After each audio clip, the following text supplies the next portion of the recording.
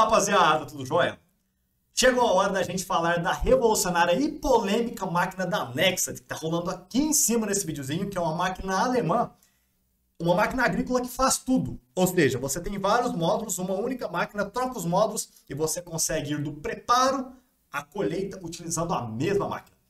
Já adiantando, se você gostar desse conteúdo, deixa seu like pra gente, comente, se inscreva no canal, porque isso fortalece bastante o nosso trabalho aqui para que a gente sempre leve conteúdo de qualidade e conteúdo sério para você, é, embasado em muito estudo, muito argumento técnico, para na hora da sua pesquisa e na hora do seu aprendizado, você não aprender nada de forma errada.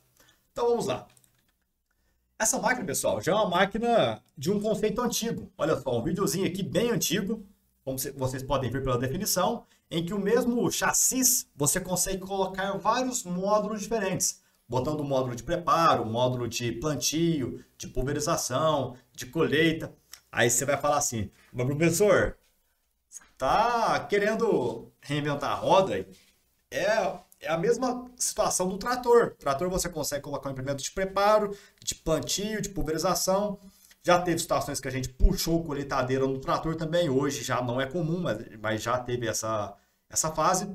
Qual é a diferença? Você vai ver no final desse vídeo que tem muitas diferenças em utilizar uma máquina dessa. A agricultura está tá sendo evoluída a cada passo.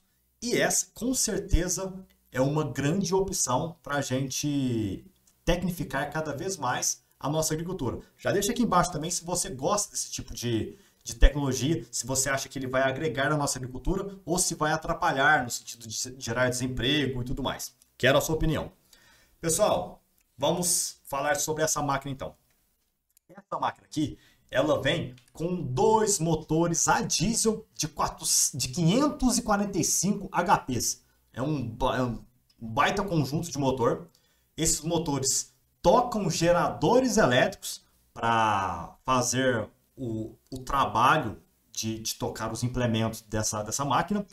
E ela também consegue fazer uma rotação de giro da cabine aqui, ó, de 270 graus, ou seja, o operador ele está trabalhando na máquina. Hoje a gente já sabe que a maioria das máquinas trabalham de forma automática com GPS, você não precisa ficar dirigindo no braço a máquina. E aí você tem mais tempo para analisar como está sendo a sua operação, o que já acontece com tratores. Hoje você bota um trator num piloto no GPS e você fica focado em ver como é que está o seu plantio, como é que está o seu preparo, ver o badeco aqui do seu plantio para ver se tem alguma linha que, tá, não está caindo semente. Se você utilizar sensor de adubo, você consegue monitorar para ver se está caindo adubo. Então, isso já, já, se, já se pratica na agricultura, já não é de hoje. Para você trocar os módulos é bem simples. Segundo o pessoal aí, falaram que coisa de 10 minutos você tira a máquina de um módulo e coloca no outro módulo. Olha só, tem até os engates bem parecidos com os engates das plataformas de corte para trocar uma plataforma, uma, uma, plataforma de milho e colocar uma de, uma de soja, por exemplo, numa colheitadeira. Para transporte em estrada, é o que o pessoal me perguntou muito. Ah, professor, mas é para transportar uma máquina dessa comprida desse jeito na estrada, não vai ter como. As rodas, elas giram 90 graus. E aí você consegue deixar ela de atravessado para transportar ela em estrada. Em relação aos módulos, olha só, tem um módulo de, de plantio, um módulo de pulverização, esse é o módulo de colheita. Então você vai trocando os módulos e vai fazendo a sua operação.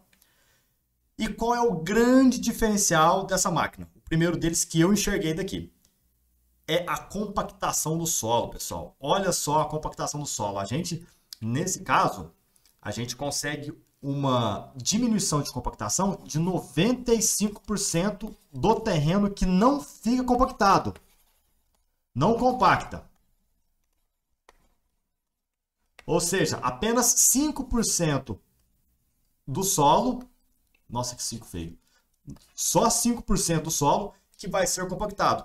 Considerando a máquina de 14 metros de largura. Ou seja, a máquina de 14 metros de largura ela compacta apenas 5%.